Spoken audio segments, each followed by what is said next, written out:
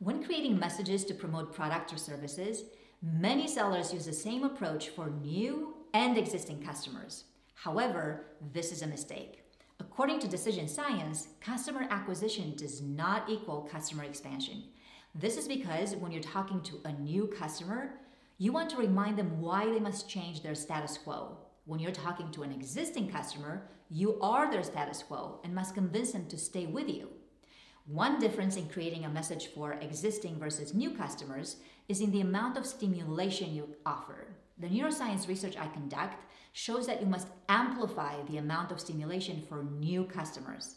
In one study where we included animations and annotation, the presentation that performed the best was the one with the extra animation.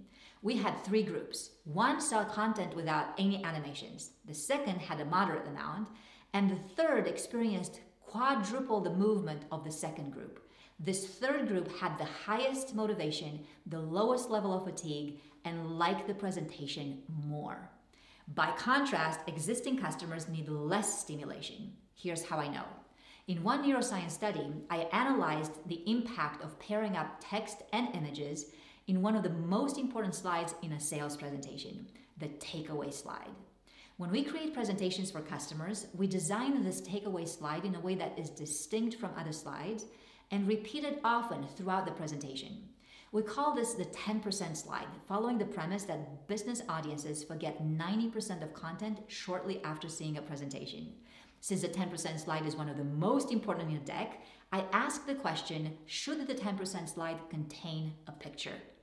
During the study, two groups of buyers view the presentation related to the merits of a software platform provided by an existing vendor. The purpose of the presentation was to persuade buyers to continue using the same platform for managing virtual and in person events instead of looking for a new vendor. Group 1 viewed the presentation where the 10% slide did not have pictures, and Group 2 viewed the same content except the 10% slide boasted an image. Two days later, we asked people what they remembered, and buyers in the no picture condition recalled the main message with 39% better precision, and their answers were 45% more accurate. This may be due to the fact that they tended to pay more attention to the text in the 10% slide, since there were no other elements to focus on. According to their EEG and ECG data, meaning their brain waves and heart rate, buyers who saw the picture were in a more alert state. The human face and the higher quality of the design may have impacted the extra arousal. The buyers in the no picture condition were more relaxed. It's important to note that the image in the 10% slide was a stock photo and somewhat predictable. So the guideline is clear avoid decorative pictures in the 10% slide for existing customers to achieve better attention, memory, comprehension, and keep buyers relaxed. Of course, in our study, we designed the text in a specific way, and this criteria will be useful to you. The text was concise, written to fit the task, meaning to help buyers decide whether to renew their subscription. The text was accurate based on stats that had emerged from collaborating with the client. The text balanced emotion and logic. For instance, phrases like quick access and consistent experience were appealing and evocative. And the text was familiar, meaning that customers had seen the concepts before and could relate to them easily. These findings about no seductive visuals for existing customers have other implications. For one, buyers who have a task prefer low arousal environments. For existing customers, the task is extra clear. In this case, it was to renew or not to renew.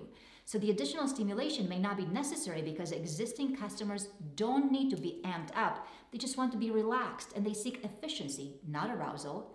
I'm also suggesting that the multimedia theory of learning needs some updating. According to this theory, people learn more deeply from words and pictures than from words alone.